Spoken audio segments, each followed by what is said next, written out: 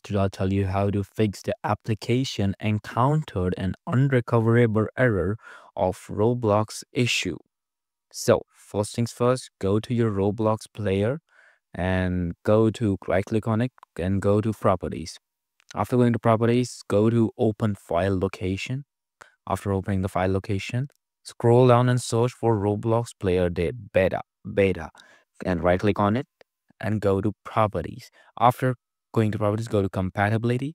Now, what you gotta do is that you gotta turn on the two options of run this program in compatibility mode for Windows 8 or whatever what or and also you have to check the two of these disable full screen optimization then run this program as an administrator and click on apply and okay so this is the first way by which you can fix the problem the second way is by cl clicking on Windows R on your keyboard and typing local app data and clicking on OK on it and searching for the Roblox file and deleting it. So after deleting this file, what's going to happen is that all the data will be erased and you have to download the Roblox app again. So it can be fix the issue.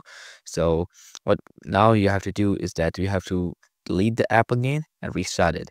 So that might fix the issue. So yep, that was the video. Thanks for watching.